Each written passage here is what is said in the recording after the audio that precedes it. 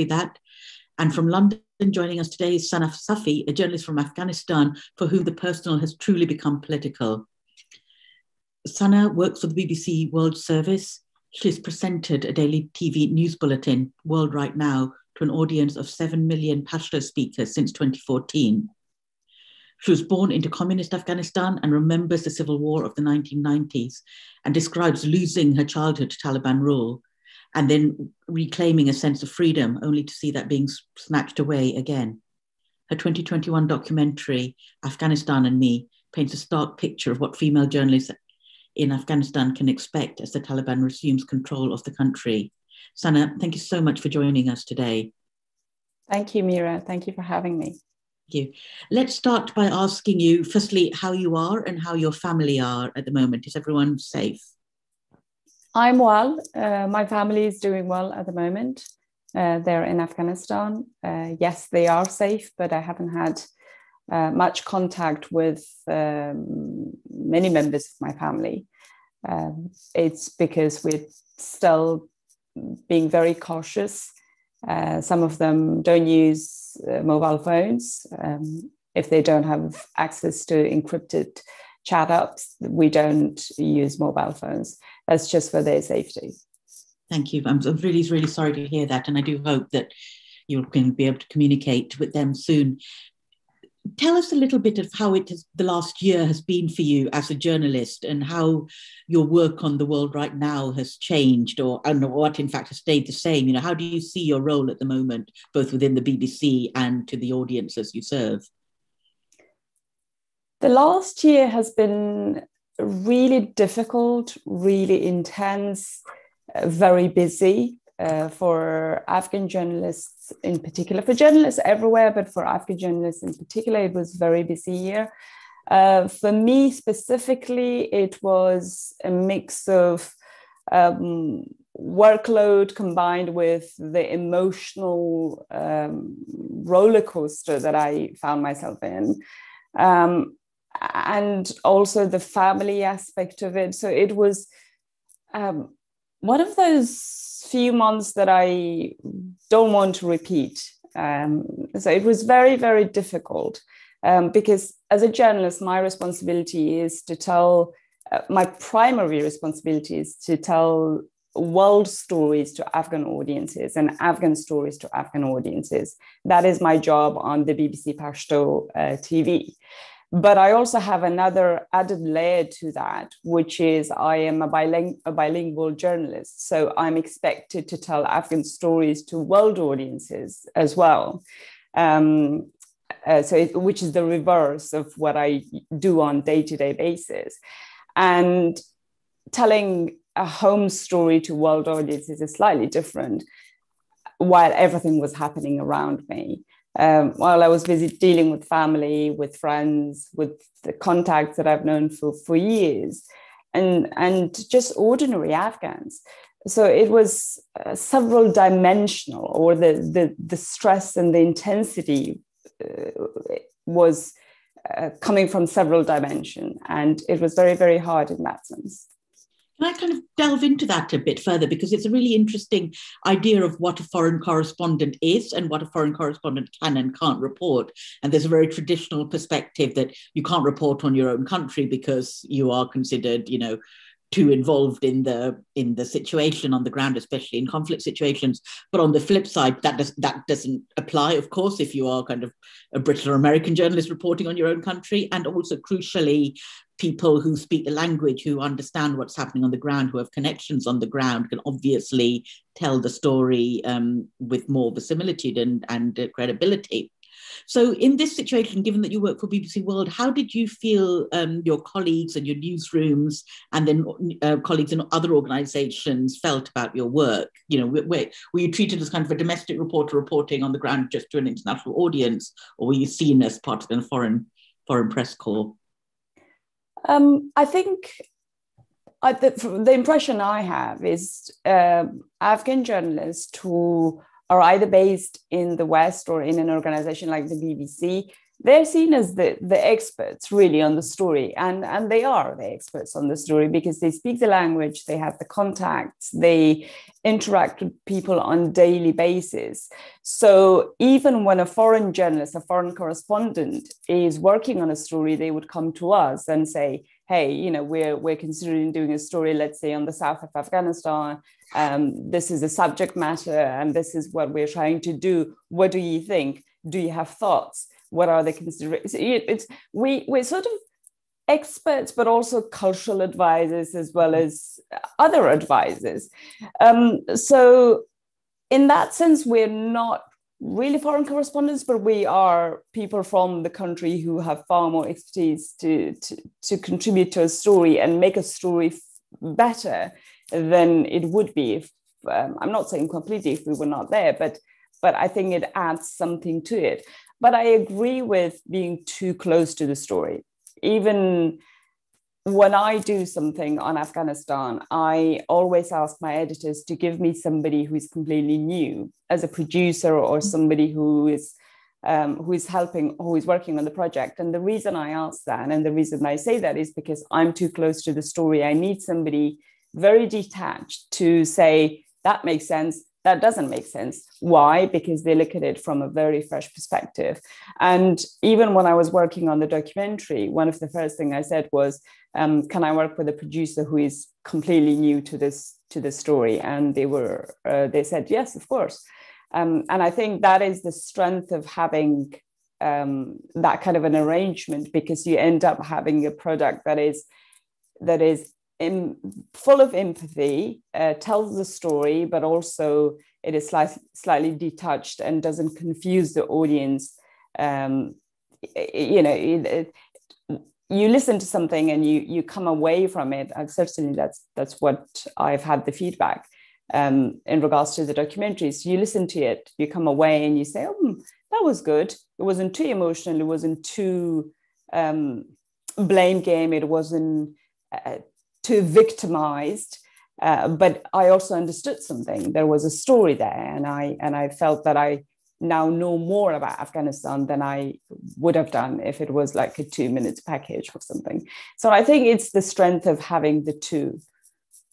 That's really really interesting. Can I can you can you think of any any examples from the documentary where you framed something differently or added something or took something out uh, on the basis of these conversations with your producer? Um, it was i mean there were a couple because we when we were making the documentary we um, the producer and i um, uh, craig uh, the producer craig smith uh, we uh, spoke at length before recording. And we did the recording over several days but for two two hours. So altogether it was six six hours of recording from me. And then there were obviously things that i um, said that didn't make sense, I'm sure, because it was six hours of recording, right? And at times I was very emotional. Um, but the real work came after we gathered all the material and when it when it came to editing and scripting it uh, there were things i remember there was a specific uh, word i'd used for um, when i described the taliban um, not the Taliban, the uh, foreign, uh, the Western-backed Mujahideen uh, elements or, or, individuals who were fighting against the Soviet-backed regime in Kabul. And I'd used a word when I went through the script again and I said to Craig, I said, Oh, that's not right. I'm being too emotional. I'm taking, you know, these were, yes, these were pe- people, but the way I'm describing them, it doesn't make sense. And he said, Yes, of course. You know, when we were recording it, it just made sense because we were at the, in the moment, but um, in the edit, we had to go through the script again and remove that. Um, so it's it's things like that that really help when you have a fresh perspective. From your perspective, I know this the, the, last few months, especially if the summer, are not ones that you'd ever want to repeat. But what did you think about the kind of the international broadcasting of the story? What was your perspective on it? Again, is it the story you would have told? Would you have told us something differently? Well, the international, uh, aspect or the way the Afghan story was told on the international media um, was not one that Afghans would have wanted because the focus was on the withdrawal, first of all, on foreign troops.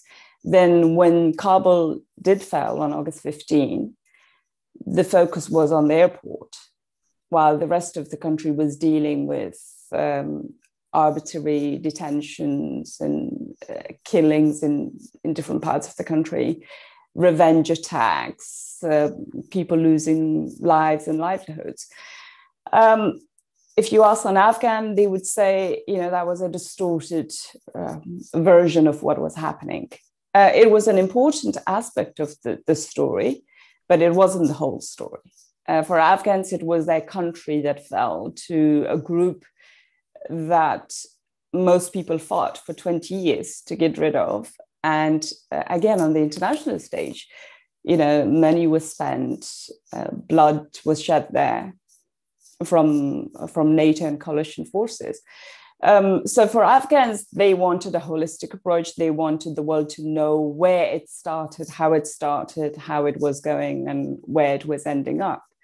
But the version you got from uh, the international media was Kabul fell to the Taliban and Afghans didn't fight, um, which is again not true. Uh, for the past 20 years, um, thousands of Afghan security forces died because of the fight. Um, even, I mean, my own, my sister's brother, uh, my sister's husband, sorry, was killed in 2019. Um, so you know, Afghans continue to lose lives and livelihoods, but yet the narrative on the international stage was the same that, oh, Kabul fell because Afghans didn't fight.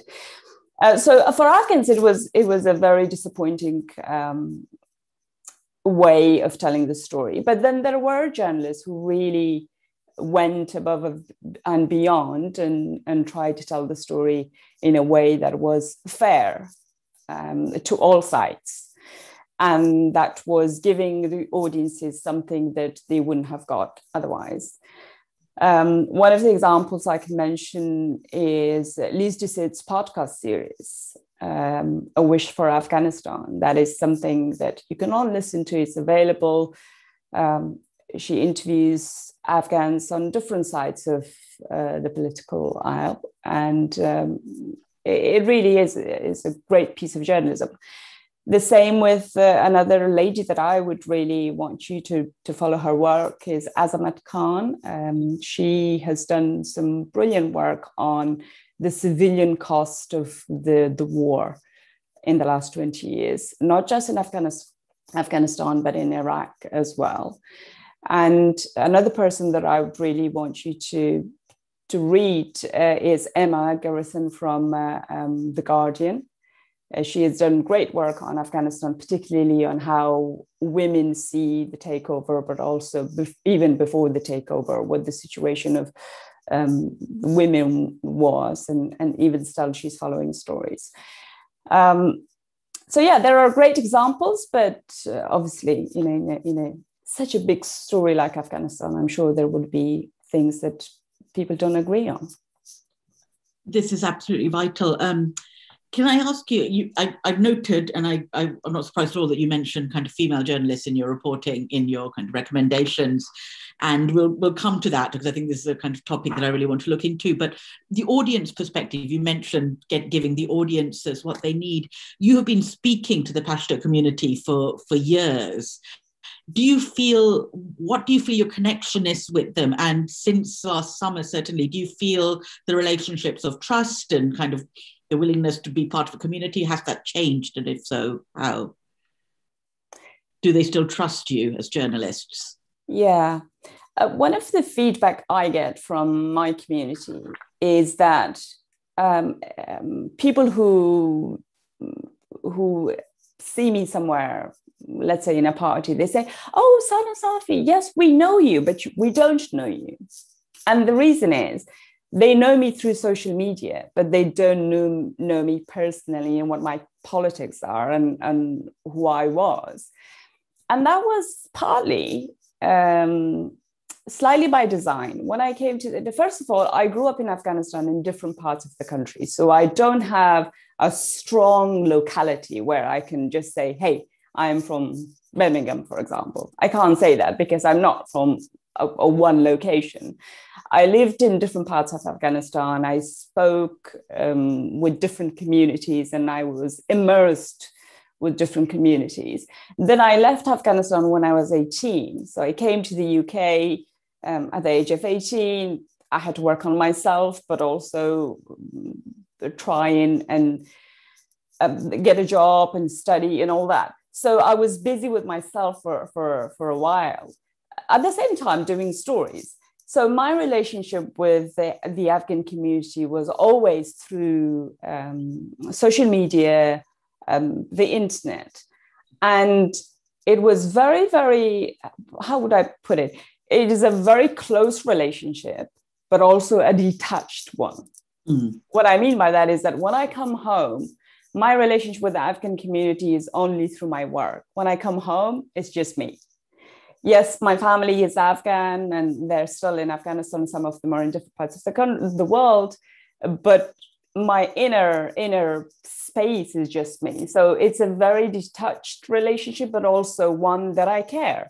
I care about the afghan people. I care because i know their, their language i know their feelings and i know what they've gone through. And so there's empathy um, but not emotions if that makes sense yeah and i think they see that because i'm not there to take sides afghanistan is a diverse country um, it is multilingual, multi-sectarian, it's, it's uh, multicultural. Um, I know what the country has been through and I know what those people have been through. And it's not my job to really focus on one community, not the other, or feels more empathy and sympathy with one or the other. So I have, yeah. And I think that that's the best way I can describe it. And that's what the feedback I get from the people that I meet.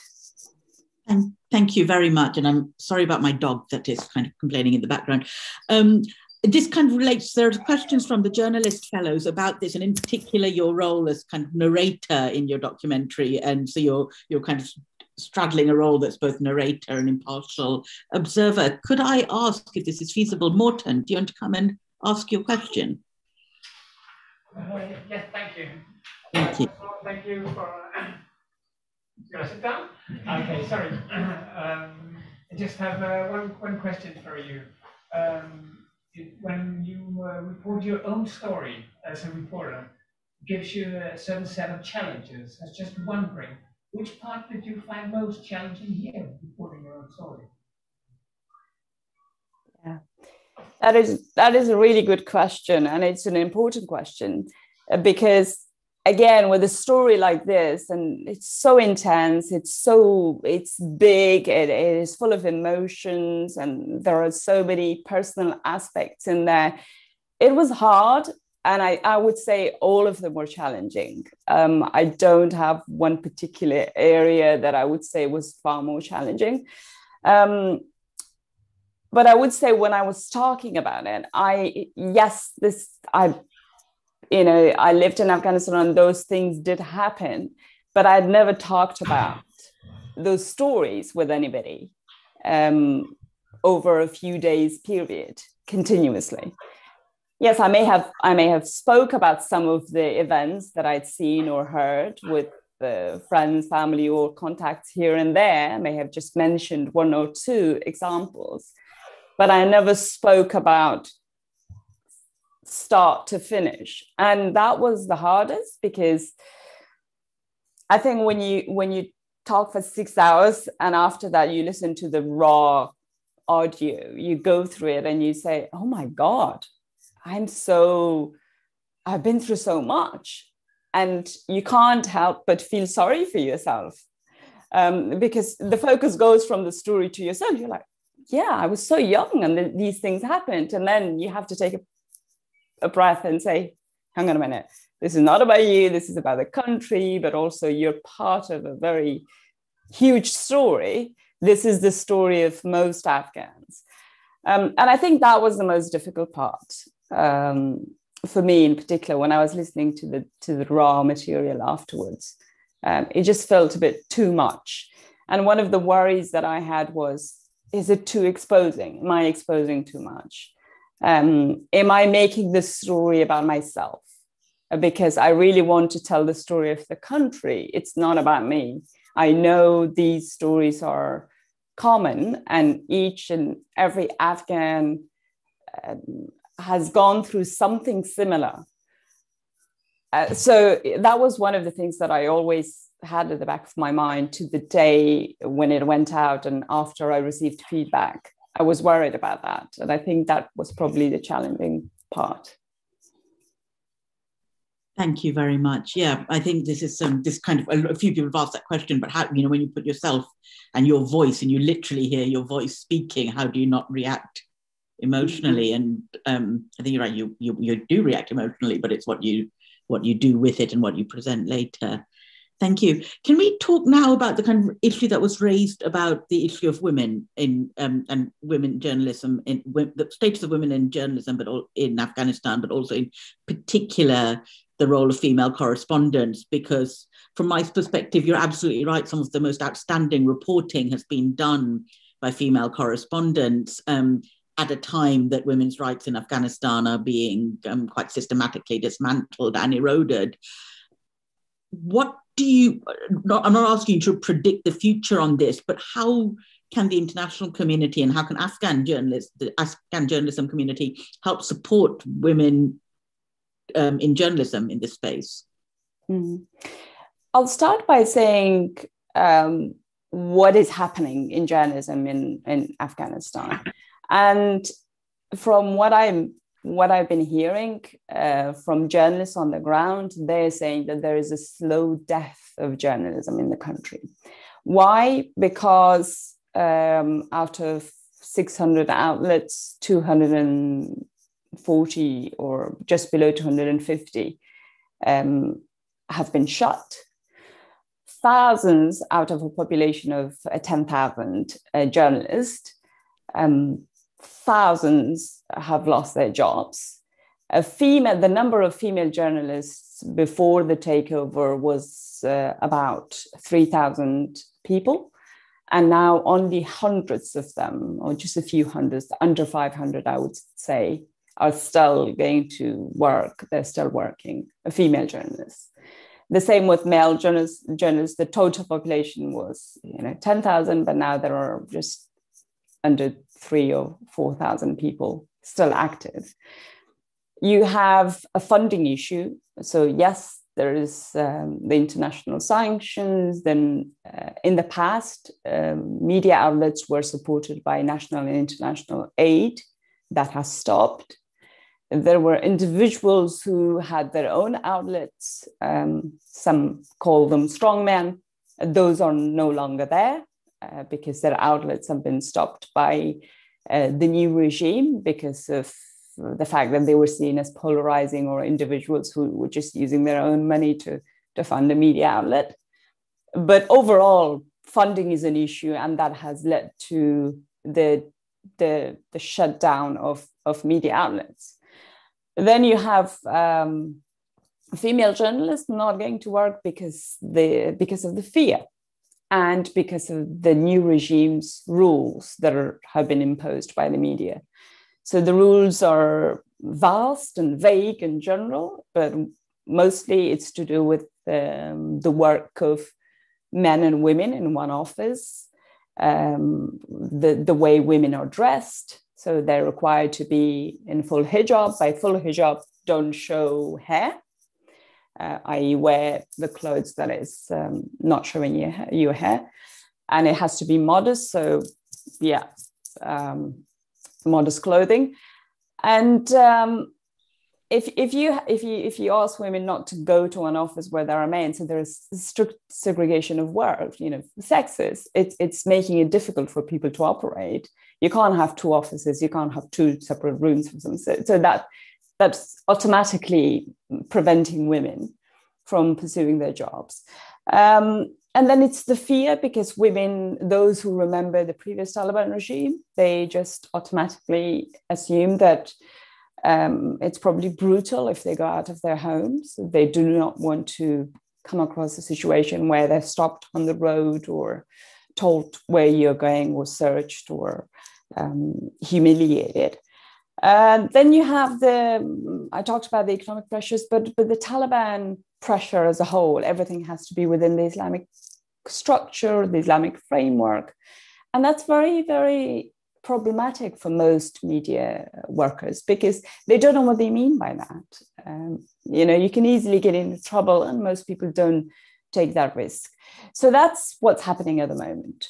Um, great work uh, has been done by women. That is true, uh, both nationally and internationally. Women have been at the forefront of uh, most of the developments. Um, I would say even the protests that are happening at the moment are by women. Uh, women go out on the street every day demanding their rights, and those are covered by, by everybody, but mostly female journalists are in touch telling those stories. Um, how can women journalists be helped?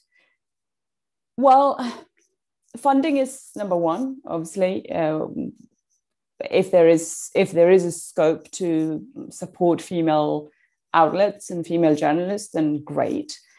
Um, another another one is to uh, a way to work with the current structures that are there, um, because most female journalists that I've spoken to, they're saying well, if we can't if we can't have a if we can't have a role in the current media landscape, then maybe we need to start something that is female owned inside the country, but we need funding, and that has to be funded by somebody independent.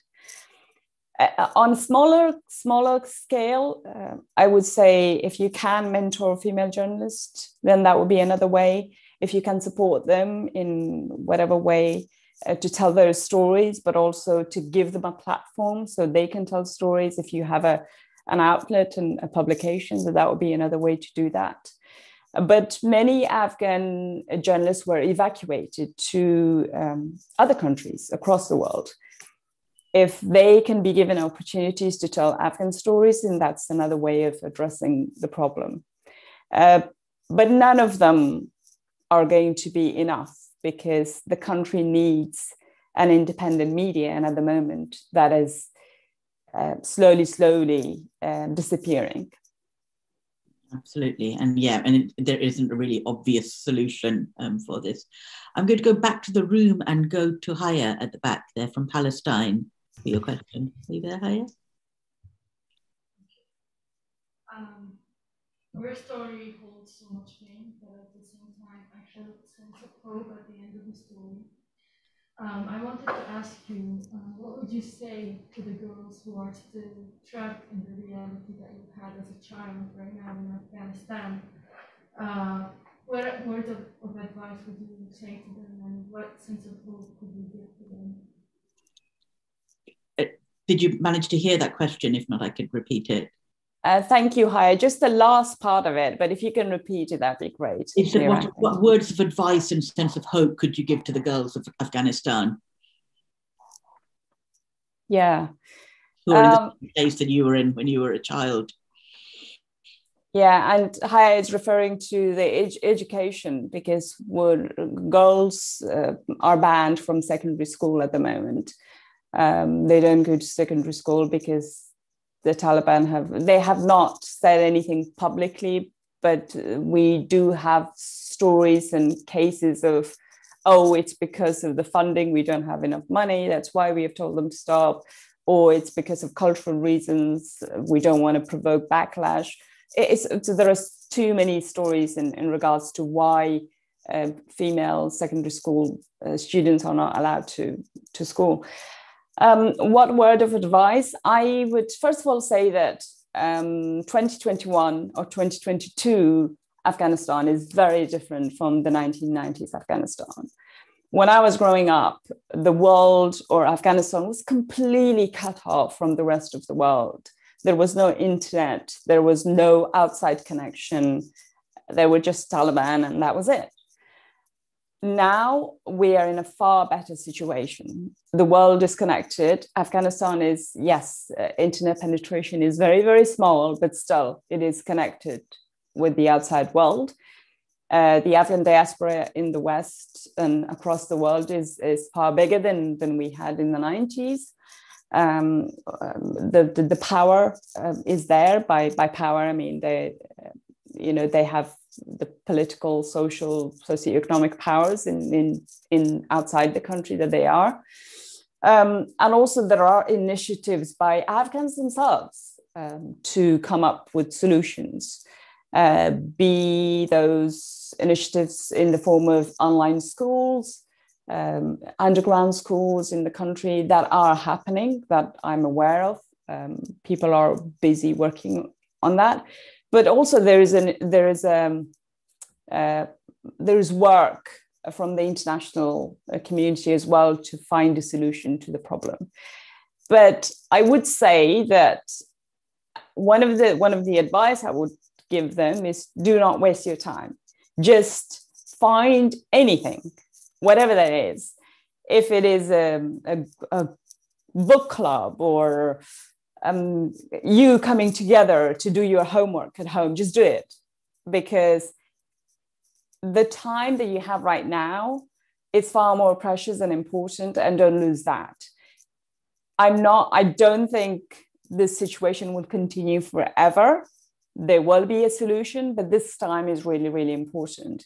And just use that um, in whatever way you can to better yourself. So once the situation is ready, or once the country is ready, according to the Taliban, then you would not be left completely behind.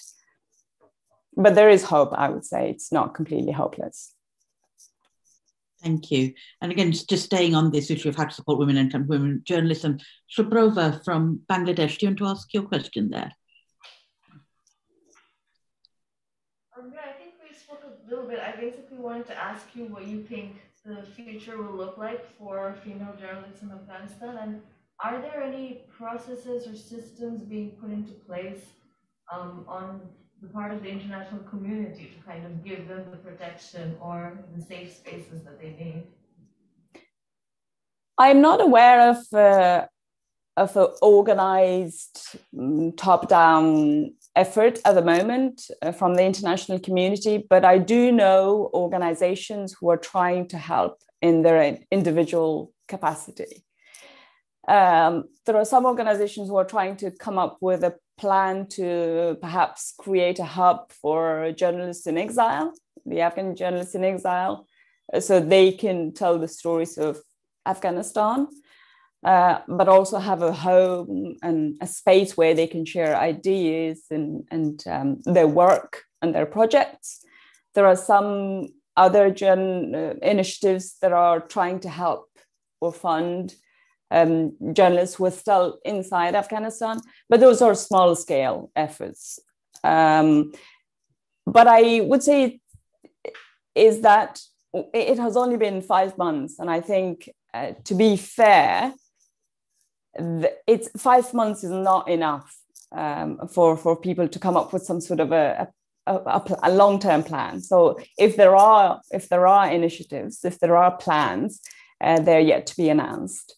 Um, but i think we can we can do something on the international stage um, that we haven't yet done. And i'm hoping uh, there will be uh, more news about that in, in the coming months once we know more. Because at the moment, uh, the focus is on the humanitarian situation because the country is suffering from a severe humanitarian uh, catastrophe uh, because more than 20 million people are said to be on the verge of starvation. And uh, all the effort at the moment, all the attention is on how to avoid that. Uh, because uh, the majority of those victims are going to be women and children. Um, so that's the focus at the moment, but um, we will probably see initiatives in the future about how to help journalism and journalists. And on this issue of what's happening on the ground in Afghanistan, how easy are you find are you finding it from abroad to get a sense of what's happening on the ground and in a way how sustainable is, is it you know because what you're talking about really is much of the journalism is going to have to be done by journalists in exile because it's just simply not feasible for them to do it from from from from afghanistan but at some point the you know the connection can be very strong at the beginning, but as time and distance grow, the connection grows weaker as well. I'd be really interested to know how you kind of navigate this and what your thoughts are. Yeah, at the moment, I can see the difference in my uh, on my groups. So we had I'm part of uh, several groups that have between 200 and 250 people on each one. Uh, uh, they are human rights groups, women rights, journalists, and, and um, other people who are active in different parts of the country. And I've seen that they have gone quiet uh, in since the takeover. Uh, they used to be very active, but now uh, things have died down. And that is, again, I would say, because most people can't afford to have the data, the internet data, to be connected. And that is a problem. Uh, some people are switching everything off because of the fear. They don't want to be found out. They don't want to be communicating with people outside. They don't want to be saying something that would get them into trouble. And um, on the journalism aspect, uh, people, uh, obviously, organizations are shut and there's no money, and there's no, um, in that sense, it, it's hard for people to be connected and, and be active. So it's very hard to do journalism and most of uh, the much of the journalism that I've seen, it's done uh, via private uh, networks. What I mean by that is, this, yes, I'm part of this group of 230 women, and um, if there is a story that I'm really interested, then I will call them personally or message them because I know them. Those are my contacts. It's not because um, something is available. So that that requires you to do the extra work, um, and then you have to take give them the time because some people do not want to speak to you, or there is worry, there is fear, um, and some of um, uh, other the, the other aspect of the journalism at the moment is the, the, the videos that were coming out, the citizen um, journalists who are just recording videos of either atrocities being committed or human rights abuses being committed by different actors, but mostly the, the Taliban are blamed. Um, and, that is what is circulating on social media a lot these days. And then once they come out, then the international the international media pay attention and other media who is based outside the country, they pay attention and cover those stories. But most of, yeah, everything is done on, I would say, networks, okay. uh, individual networks at the moment, because there's no big scale news gathering operation um, that you might expect in, in a different scenario. And this presumably then leads to kind of huge potential for misinformation as well, if it's being done through these private networks with videos without they can't always be sourced. Absolutely. Verification is a huge problem um, in regards to these videos that are being circulated because the videos of these atrocities are not just from Afghanistan. So you, you may come across videos that were recorded in Syria, videos and pictures, uh, recorded in other conflict zones. And now people are saying that, oh, this is Afghanistan. And the verification of that takes time because you have to find the right people, you have to you know make sure that you don't, you're not putting anybody in danger but also um, ask the Taliban for a, for a response as well.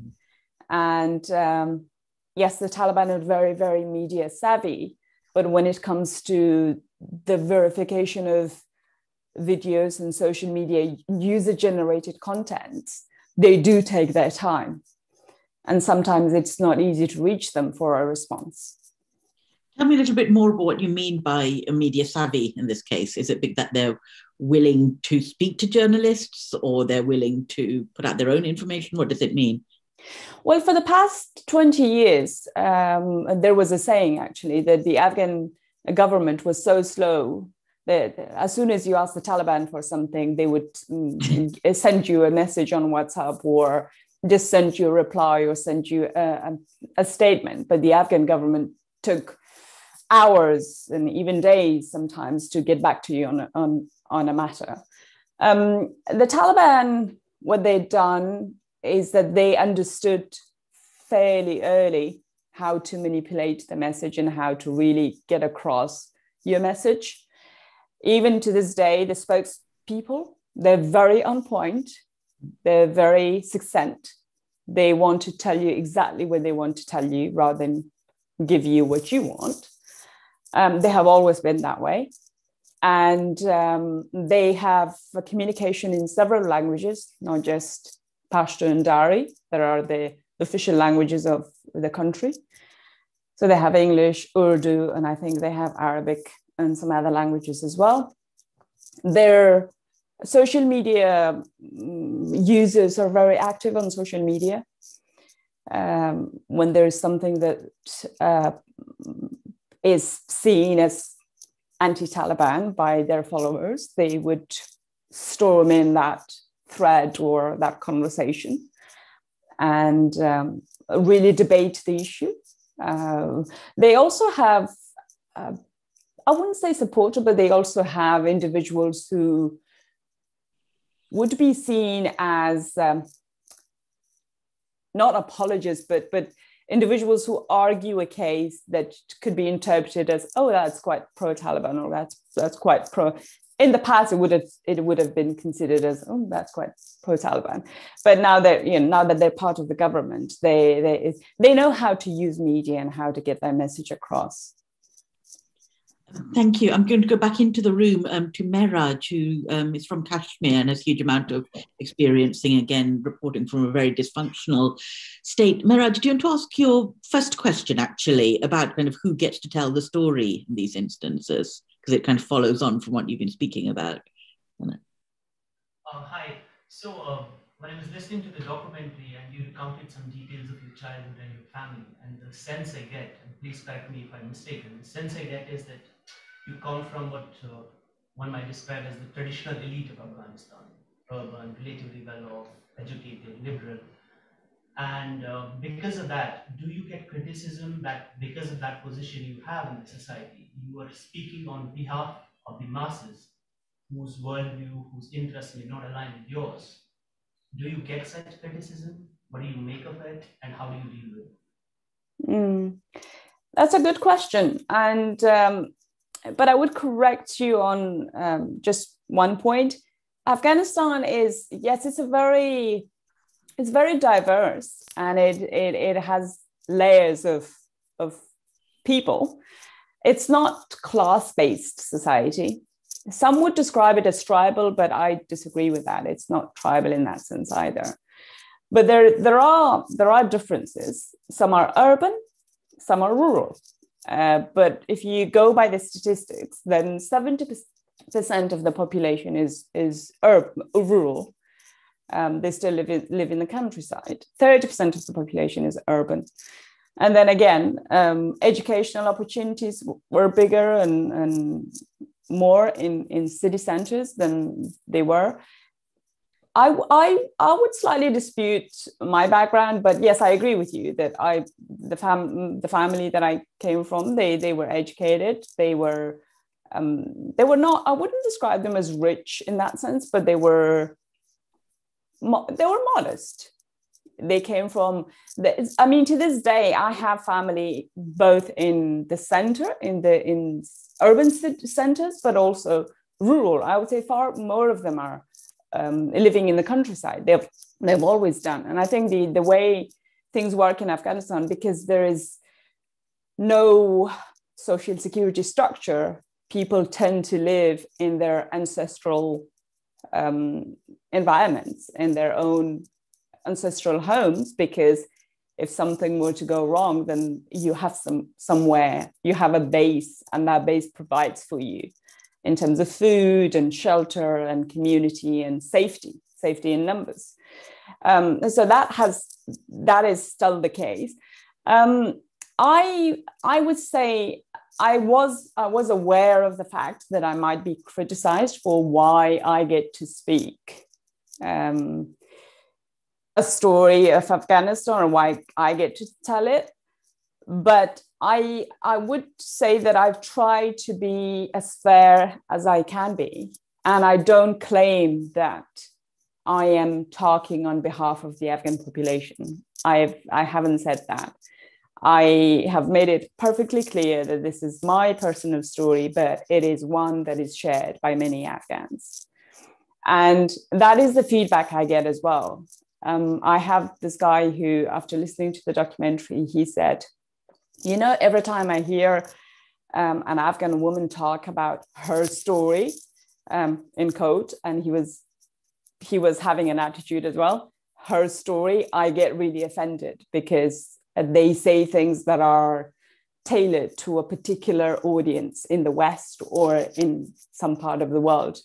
And they frame Afghanistan as if it is this woman beating, woman hating, backward, primitive culture where, um, you know, women are just seen as a second, second class citizens, blah, blah, blah. But when I listened to your story, I came away feeling that that was very fair it was yes you were you had gone through a lot and i'm sorry but also i i know so many other people who were in similar situation as you described um, so i didn't i i didn't receive criticism no it was far more positive and i was surprised. But then i knew that it would be positive because i actively made that effort to make sure that it is the outcome is what would be a realistic picture in the country. And and and that comes from speaking to lots of people and also having a very diverse flow of information um, so yeah you you you have both sides of the story in that documentary. You have the elite but you also have the the rural. I talk about um, or maybe i haven't talked about my cousin who was shot by american soldiers and his mother lives in the countryside. Um, the same, I, I probably haven't talked about my other cousin who live in Helmand uh, to this day. They have always lived in Helmand and in one of the, prov- the districts that called Marja. Marja was one of the most volatile uh, districts uh, where you know, thousands of US Marines were based. And to this day, uh, my cousins are there. Um, so I don't know if that answers your question, but I hope it does. It absolutely does. Thank you very much. Um, yeah, no, thank you. And I said it at the beginning, and again, I'll say it again at the end, close to the end. But you know, your courage um, and resilience in reporting this subject that's both close to home and of global importance is is really an extraordinary. Um, and I know one of the fellows had this question, but I'm just going to ask it myself. What support have you had from the BBC um, during this process? Because you've been, you know, you've been with them a long time, but again, you've really made yourself vulnerable in many ways um, in the la- in the last year, and I was wondering if you've had support from your colleagues from the newsroom over this. Mm. The BBC has um, a range of um, support available for staff. In my case, I was, um, I don't know why, but I'd never shared uh, anything that was personal with colleagues. Most of my close colleagues probably didn't know most of what I describe in the documentary. And again, I grew up in Afghanistan. It's a very, very tough place. Um, it's I, when I was growing up, my mother was would always say something like, um, "If you think something is wrong, go and fix it. Don't complain." And that is the attitude I've I've carried. So it's I don't I wouldn't I wouldn't say that the BBC didn't do this or that. No, the BBC has procedures in place for people who need it and who want it. Had I asked for it, I would have received um, as well. Not that I haven't, but um, I didn't feel the need that I was um, that I need to ask for help, if that makes sense. Um, but if there is, if I ever do, then yes, they do have procedures. They do have uh, help available. Thank you, thank you. Can I um can I kind of pull back out to the bigger picture and especially the reporting from Afghanistan in the last year? Um, again, the international community's reporting. It was it seemed to be presented as such a shock. Um, the last days of the Afghan administration. It took everyone by surprise, and journalists are not responsible for political analysts all political analysis and the information that the White House and various prime ministers receive. But what what went so wrong and you know and from a media perspective what you know how did the story get missed for so long depends who you ask mm-hmm. if you ask Afghans and particularly Afghan journalists and activists and those who were involved in the society, they would say, We are not shocked. We were not shocked. We knew that the trajectory of things were going in the wrong direction. And there was a clear effort by the international community, mainly the US, to withdraw. They made a deal with the Taliban in Doha in 2020 they named it the peace deal, but it was clear from the way it was done that it was a, a, withdrawal agreement. It was a retreat rather than a peace agreement. That's what the Afghans would tell you. It was clear, um, and nobody's shocked. And also, the way things work is that if you, the Afghan um, uh, security forces were reliant on the international support, the international air support, um, but also uh, ground support. Before 2014, all the operations were um, the responsibility of the security was heavily on the shoulders of NATO forces. After 2014, after the uh, the um, security handover to the Afghans, it went to the Afghans. But they still relied on the international support for, for airstrikes and other things. But once the deal was made, um, it, it, there were there were mentions of the fact that uh, that support would go away from the Afghan forces, which it did.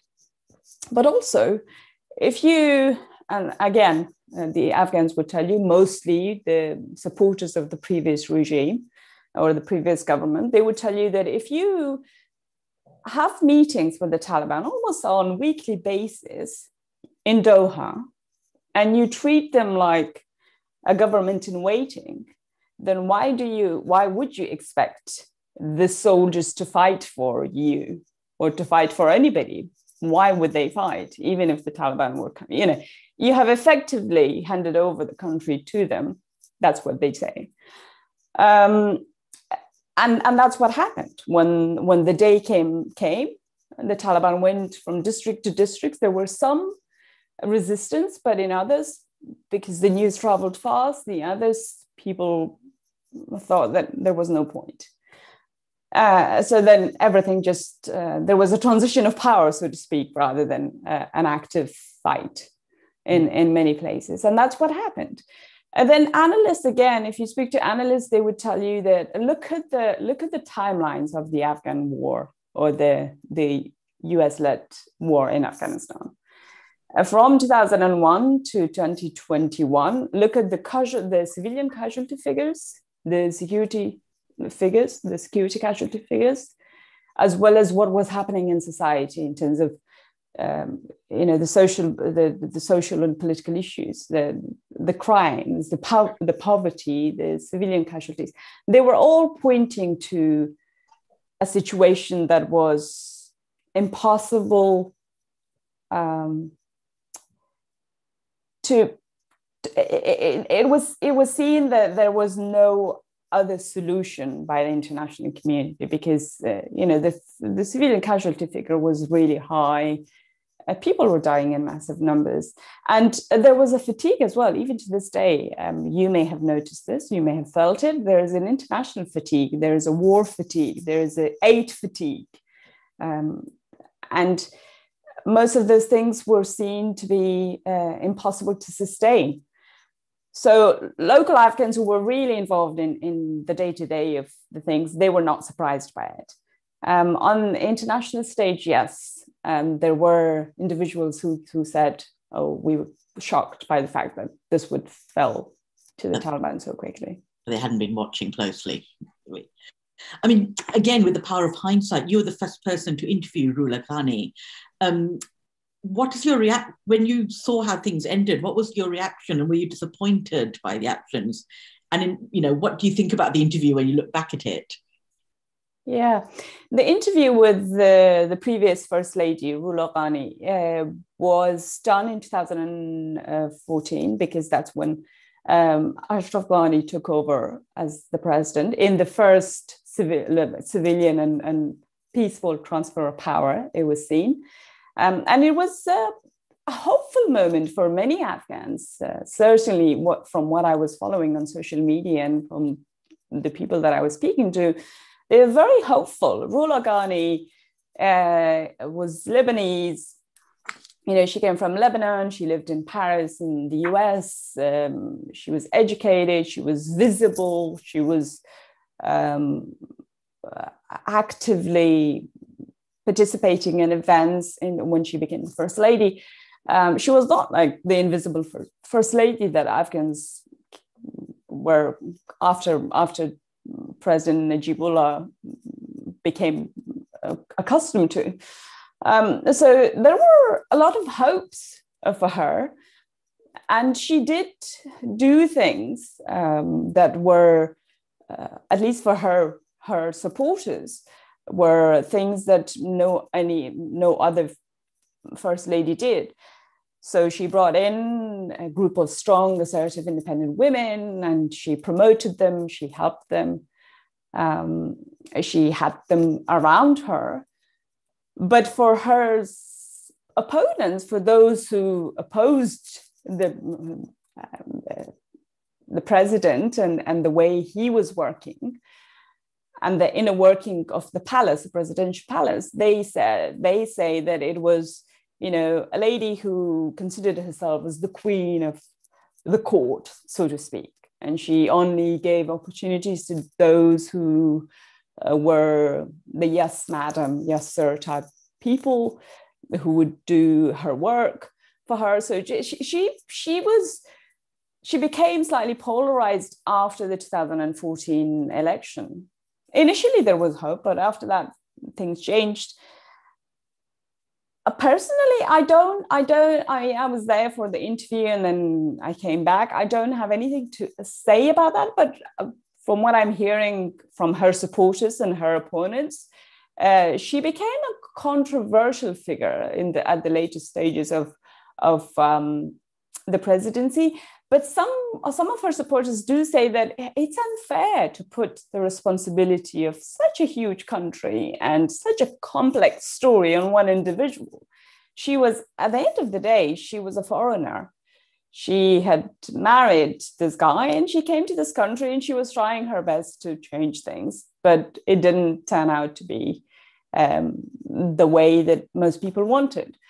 Uh, that is according to her supporters. But for for people who didn't like her or the, her husband, uh, she was seen as just yet another woman who was taking projects or using Afghan women to get projects and and uh, further her interests there's so many parallels with first ladies in, in so many parts of the world. Um, thank you. That's why I asked. Um, just one last question, um, which is kind of really a sad question. And again, going back to the point you were making about the struggles of Afghan journalists and the fact that most Afghan journalists are going to have to now report from abroad. And we've already seen this with um, journalists from Yemen and Syria, and sadly, now Hong Kong. Um, Gideon, do you want to ask your question there?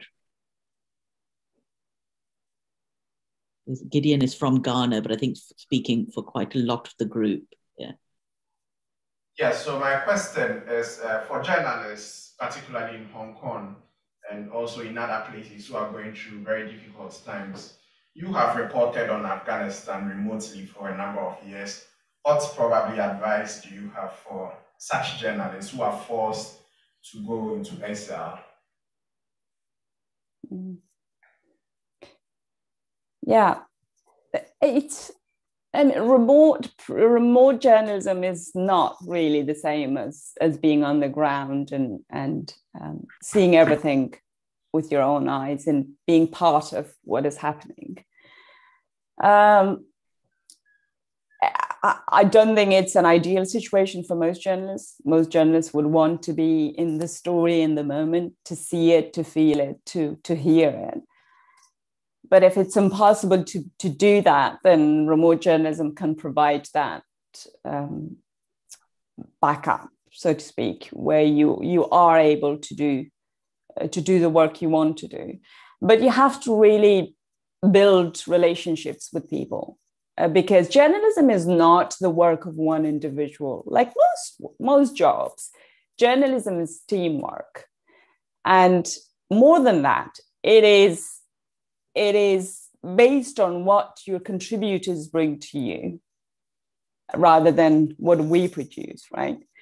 It's it's it's about the raw material that that you need to have and for that you need to have relationships um, with with all sides of the story i think try and not limit yourself in in the work that you do in the relationships that you keep try and check your biases as well because sometimes it's our own biases that stops us from from really developing those relationships that we need that is great for for having a great story for telling a great story. So if you are doing remote journalism then and then build relationships build contacts um, and and be there for you for for your people uh, those who you know the contributors the the contacts and the people that you rely on at the end of the day it's it's a two-way street um, give them credit where it's due appreciate their work where you can and um, try and recognize what they what they bring to you Sana, thank you so much. We're kind of out of time, but I again want to thank you for coming and spending this hour with us. And I do recommend everyone listens to your documentary, which is incredibly powerful um, and a brilliant, brilliant, insightful snapshot of what's happening in Afghanistan and what, what's likely to kind of play out there. Uh, thank you also for the Journalist Fellows for your questions. And this is their first seminar for many of them. And thank you for everyone for, who attended as well. And we'll be back next week at the same time. But in the meantime, Sana, thank you again for your time. Thank you, Mira. Thank you for having me. Great to see you.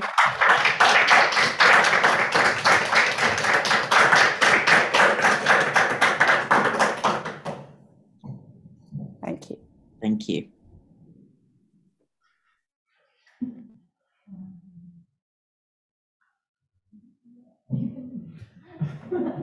We're still learning.